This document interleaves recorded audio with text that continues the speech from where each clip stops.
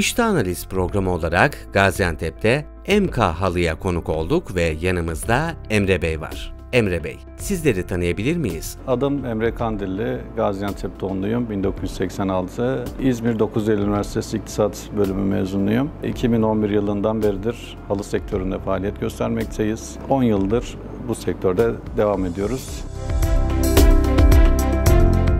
Firmanızın kuruluş hikayesini anlatır mısınız? Şirketimiz halı sektöründe 2011 yılında benim tarafından kuruldu.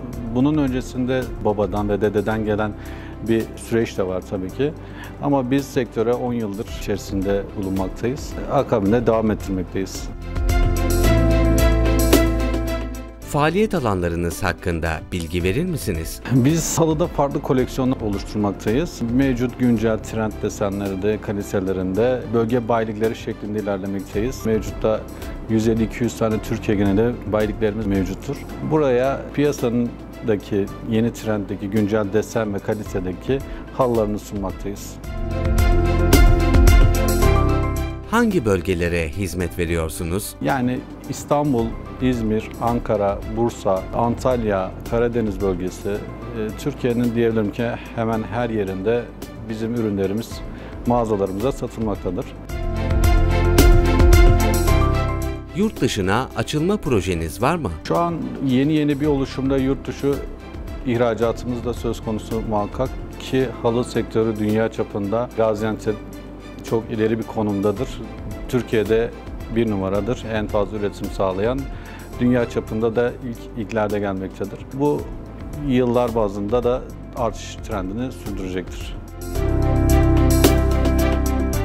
Günümüzde sektörünüzle alakalı gelişmeler hakkında neler söylemek istersiniz? Halı sektörü Türkiye'de günden güne büyüyen, özellikle Antep'te çok çok daha büyüyen, gelişen bir sektördür. Bu sektörün daha da ileriye taşınması için teknolojik yatırımların ve bunun akabinde desen, tasarım, görsel geliştirilerek önümüzdeki yıllarda çok daha ileri seviyeye geleceğinden inanıyorum. Kalite politikanızı anlatır mısınız? Kalite olarak bizim ürünlerimiz akrilik ve polipropilen, PP, polyester, tozulmaz, hav çıkartmaz şeklinde geliştirdiğimiz halılar vardır. Bunun yanında polyamit, polyester türündeki ürünler de mevcuttur. Şu an için mevcut olan ürünlerimiz bu şekildedir. İleriye yönelik hedefleriniz nelerdir? Biz şu an işletme içerisinde 50-55 personelle hizmet vermekteyiz. Bunu 100-150'ye uzun vadede taşımayı düşünüyoruz. Ürün çeşitliliğini çoğaltıp farklı kalitede farklı ürünler sunmayı hedeflemekteyiz. Yani 5 yıl içerisinde M halı hemen hemen her halı mağazasında olacak şekilde bir hedefleme öngörüyoruz. Bunun akabinde Avrupa, Asya, Orta Doğu'da da ihracat ayağında büyümeyi düşünüyoruz. Aylık ve yıllık ciro hedefleriniz nelerdir? Mevcutta bizim aylık ve yıllık, 3 yıllık, 5 yıllık hedeflerimiz söz konusu. 3 aylık periyotlarda %15'lik, %10'luk, yıllık bazda da %25, %30'luk şeklinde bir yükselmeyi, e, büyümeyi hedefliyoruz.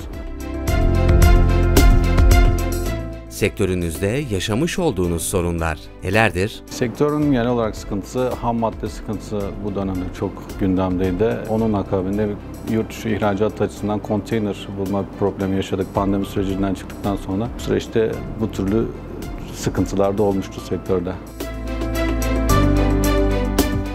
Sektörü Antep sanayisi açısından nasıl değerlendirirsiniz? Antep sanayisi için halı sektörü gerçekten çok ileriye taşıyan bir sektör. Antep'te şu an yaklaşık 2500-3000 arasında tezgah bulunmakta ve dünya üretiminin ciddi anlamını Antep tek başına kendisi karşılamakta. Ciddi anlamda bir ihracat potansiyeli olan, aynı zamanda iç piyasada da gitgide büyüyen bir sektör. Burada da Gaziantep'teki istihdam koşullarını en önemli kaynaklarından birisi halı sektörüdür.